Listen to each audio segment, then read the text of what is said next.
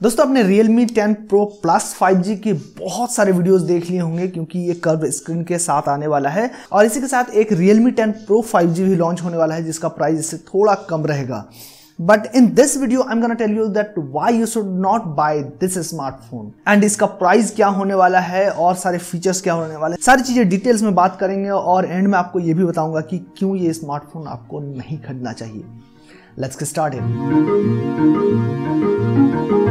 so first we will talk about the specification and features of this smartphone so यहाँ आपको मिलने वाला है 6.72 इंच की P S L C D display with 120 hertz refresh rate which is not very impressive in this price range मुझे लगता है कि इतना अच्छा है। इस प्राइस रेंज में खासकर। बाकी इसमें आपको Qualcomm Snapdragon 695 का प्रोसेसर देखने को मिल जाता है। डिज़ाइन बहुत अच्छा है इस स्मार्टफ़ोन का। पीछे आपको साइनिंग बैक देखने को मिल जाता है। और बॉक्सी डिज़ाइन है। डोल स्टूडियो स्पीकर भी देखने को मिल जाएगा। IR ब्लास्टर भी दिया गया है स्मार्टफ़ोन में। और 5000 थाउज़ेंड की battery with 33 watt fast charger भी दिया गया है। जो कि ठीक है, बहुत ज़्यादा अच्छा या बहुत ज़्यादा इंप्रेसिव नहीं कहा जा सकता है बट हाँ इस प्राइस रेंज के हिसाब से ठीक है। 108 मेगापिक्सल का प्राइमरी सेंसर दिया गया है और 2 मेगापिक्सल का डेप्थ सेंसर दिया गया है। अनफॉर्चुनेटली यहाँ पर आपको कोई भी अल्ट्रा वाइड लेंस देखने को नहीं मिलता है। फ्रंट में आपको 16 मेगापिक्सल का सेल्फी कैमरा दिया गया है और इसका जो रेयर कैमरा है इससे आप 4 की वीडियो रिकॉर्ड नहीं कर सकते हैं because of its processor Qualcomm Snapdragon 695 में वो कैपेसिटी नहीं है कि आप इसके नेटिव कैमरा एप्लीकेशन से 4 की वीडियो रिकॉर्ड कर सकें।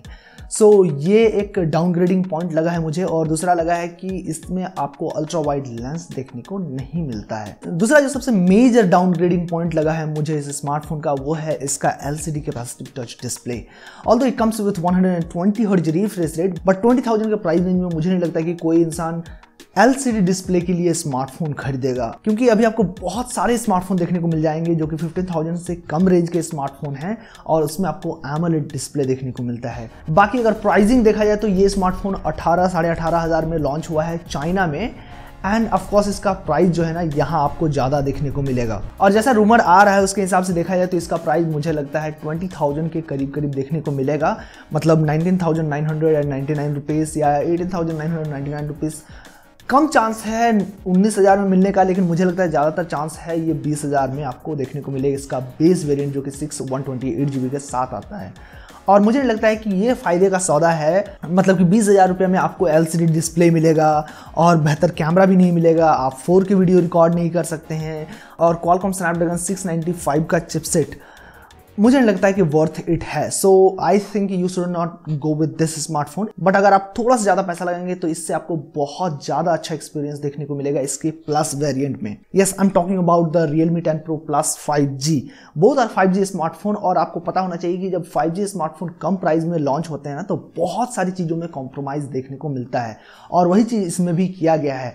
But thanks to its plus variant जहाँ आपको ज़्यादा कॉम्प्रोमाइजेशन देखने को नहीं मिलता है और उसमें आपको एलसीडी डिस्प्ले नहीं एमएल डिस्प्ले मिल जाता है विथ कर्व स्क्रीन और कर्व स्क्रीन जो है ना स्मार्टफ़ोन को बहुत ही प्रीमियम लुक देता है। इसके अलावा यहाँ पर आपको डुअल स्टूडियो स्पीकर्स भी दिया गया है और स्पीकर का क्वालिटी भी आपको ज़्यादा अच्छा देखने को मिलेगा। और इसमें आपको 67 वाट का फास्ट चार्जर भी देखने को मिलता है और भी बहुत सारी चीज़ें देखने को मिल जाती है। अगर आप डिटेल्स में जानना चाहते हैं इस स्मार्टफ़ोन के बारे में तो आपको कार्ड में लिंक मिल जाएगा। यहाँ से आप देख सकते हैं इस स्मार्टफ़ोन के बारे में।